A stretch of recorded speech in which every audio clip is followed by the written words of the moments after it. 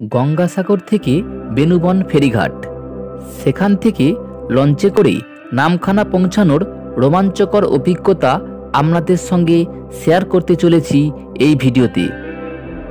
যারা গঙ্গাসাগর থেকে বকখালি অথবা নামখানা স্টেশনে যাবার কথা ভাবছেন, তেনারা এই বেনুবন থেকে কম সময়ে সুন্দরবনের প্রাকৃতিক দৃশ্য অনুভব করতে করতে চলে আসতে পারেন নামখানায়। গঙ্গাসাগর থেকে খুব সকাল সকাল একটি টোটো রিজার্ভ করে বেরিয়ে পড়লাম বেনুবনের উদ্দেশ্যে। দূরত্ব প্রায় বারো কিলোমিটার। টোটো গাড়িতে সময় লাগবে পঁয়তাল্লিশ মিনিটের মতো।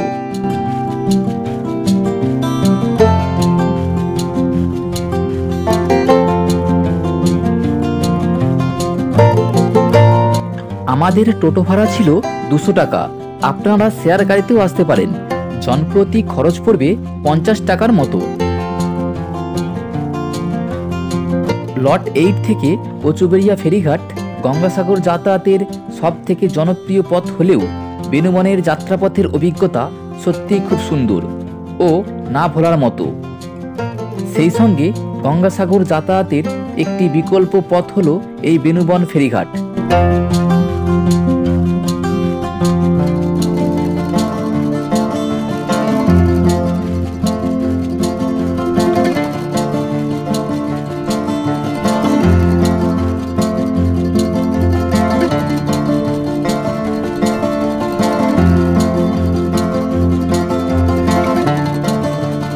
পৌঁছে গিয়েছি বেনুবন ফেরিঘাটে।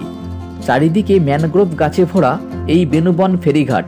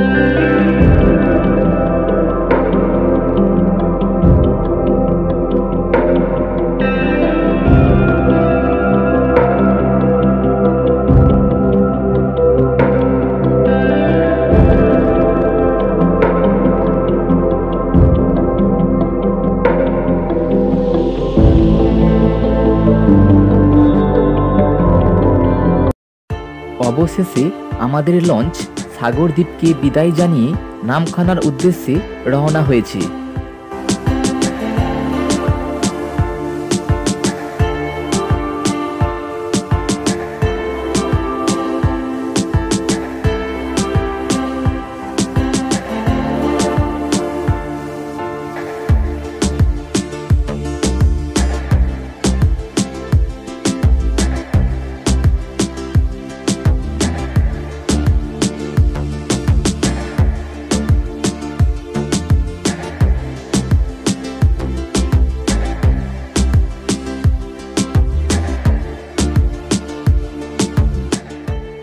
যতই আমাদের লঞ্চ সামনের দিকে এগোচ্ছে, চারিদিকে জল আর জল, কোনো দ্বীপ চোখে পড়ছে না।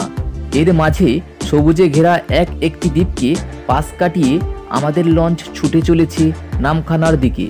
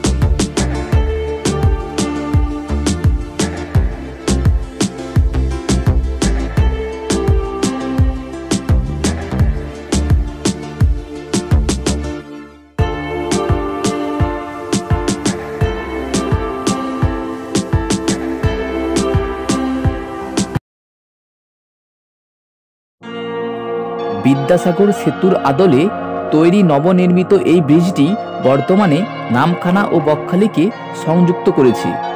আর আমরা চলে এসেছি নামখানা ফেরিঘাটে।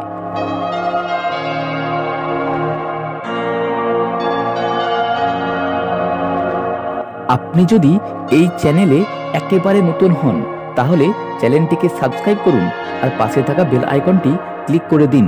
যাতে করে আমার পরবর্তী ভিডিওর নোটিফিকেশান সবার আগে আপনার কাছে পৌঁছে যায়।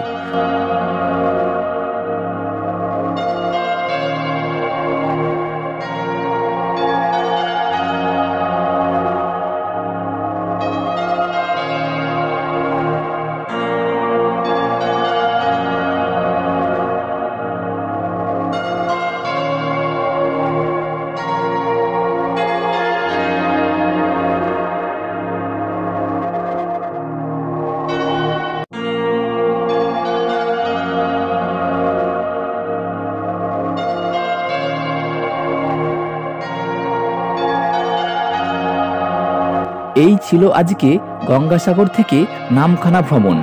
দেখা হচ্ছে পরবর্তী অন্য কোনো ভিডিওতে। ততক্ষণের জন্য ভালো থাকবেন, সুস্থ থাকবেন।